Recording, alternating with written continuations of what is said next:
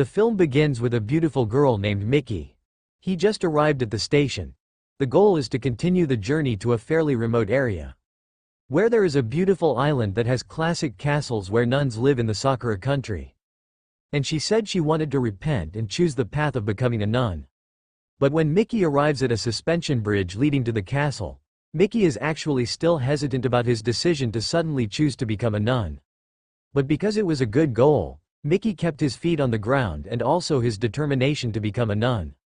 Then the next day Mickey had put on the proud robes of a sister and would be responsible for being a servant of the church in the castle and house of worship. Mother Teresia as the leader of the castle was very proud to see Mickey's desire to become a nun. Mother Teresia then wished Mickey to always be happy and healthy always. Misguided then Asami representing Mother Teresia introduces Mickey to the other nuns. Then Noriko, one of the senior nuns there, was very happy to see that Mickey, who was very beautiful, wanted to choose to become a devotee. Seeing that, Asami and the other sisters seemed offended because Noriko seemed a bit excessive towards Mickey. And from their conversation we finally know that Noriko is Mickey's best friend. Noriko also gave a complete and special room for her best friend. And Mickey was very grateful to Noriko who had warmly welcomed his arrival. The night before the break Mickey wrote a story about his life path that has become a nun. But suddenly he even remembered Kumamoto, his former lover during college. What turned out to be their way of dating was a bit strange, they often had sexual relations, but the way was very, very hardcore. But fortunately Mickey soon realized and threw away the memories and went to rest. In the middle of the night, Mickey wakes up from a dream, Mickey dreams of meeting his former lover Kumamoto and from that dream Mickey becomes truly sexually lustful. It was then that Mickey came to his senses and in the end he immediately begged for forgiveness and regretted his mistakes in the past. Mickey realizes that a sister has been cursed and should not think about lovers. The next day Mickey got ready to clean up. At that time, he found two seniors who were having sexual relations. This also makes Mickey so confused, how can they do that in a holy place? After that Mother Teresia gave Mickey the first test. Which is where you will send it to a social institution. And without lingering, Asami immediately invited Mickey to slide into the orphanage. They were also accompanied by a driver, and when on the way Mickey then felt a bad feeling. But Mickey chose to ignore it and stay calm and hope it was just a bad feeling. Long story short after arriving at their destination a man named Hiroshi welcomes them and gets acquainted with Mickey, the junior nun. Then Hiroshi transferred Mickey to his branch of the social institution. The reason there is more people need the services of Mickey. That night, they went to the beach, where they found it. They then continued their journey on foot.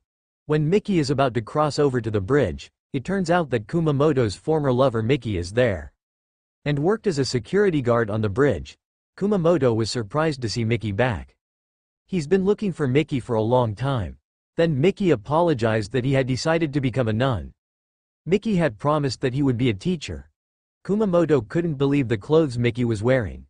Unable to see Kumamoto, Mickey runs away from Kumamoto. Kumamoto had wanted to pursue Mickey because he wanted to tell Hiroshi and his friends were bad people who just wanted to use him. But Mickey kept running and ignored what Kumamoto said. After that Mickey immediately prayed to apologize for all his bad deeds. And when Mickey was praying, Asami actually mixed Mickey's drink with dope and planned something for him. After being sorted out praying his senior Asami gives Mickey a drink. Asami seems concerned about the events experienced by Mickey. Without thinking about it, Mickey drank it. And a moment later Mickey immediately fell into a deep sleep. The next day Mickey and Asami are seen cycling around the village. But somehow Mickey just got lost. And passed by a local resident. Immediately the two other young men came and they immediately ambushed Mickey. Fortunately, Mickey escaped. But because he did not know the way to go home, Mickey was found again and he was immediately forced by the three young men. On the other side of Kumamoto comes Asami, and he asked Asami about the whereabouts of her lover Mickey. Asami tells him that Mickey is fine at the orphanage. And Asami asks Kumamoto not to tease her anymore. Kumamoto, who heard about it, became suspicious and tried to investigate Mickey at Hiroshi's social institution. Asami actually doesn't mind that Kumamoto wants to investigate and make sure that Mickey is okay there. But of course with a condition that Kumamoto must close his eyes during the trip to the orphanage in question. In short, Kumamoto arrived at Hiroshi's social institution. And at that time he was immediately shocked because through the soundproof window it turned out that Miki was being harassed by three young men. Kumamoto is furious and asks Hiroshi to remove Miki. But here Kumamoto was made helpless because of Hiroshi's much tighter guard. In the end, Kumamoto was also detained at the social institution. Hiroshi shows Mickey through the window and shows that he has installed a device that can make Mickey vibrate on his sensitive parts. Only through a remote. Then a moment later when Hiroshi was caught off guard, Mickey also managed to break the window and immediately ran away from the social institution. He immediately rushed and entered a warehouse in the middle of the forest. From a distance Hiroshi saw it and then pulled out the remote again. On the other side it turned out that the barn was inhabited by a man. Misguided then Miki was again made to tremble by Hiroshi the young man looked confused which in the end Asami also entered and again took Miki to the social institution again. As the days went by, Miki continued to be used as a toy by Hiroshi. Until one day Miki is taken and reunited with Kumamoto in the basement. Hiroshi then arrives and allows Kumamoto to make out with Mickey. But in a really hardcore way. Anyway, until they hang up. Asami who saw him was jealous because Hiroshi also enjoyed Mickey's body. Finally, the next morning, unbeknownst to anyone, Asami, who was jealous, took Mickey and Kumamoto out of their orphanage.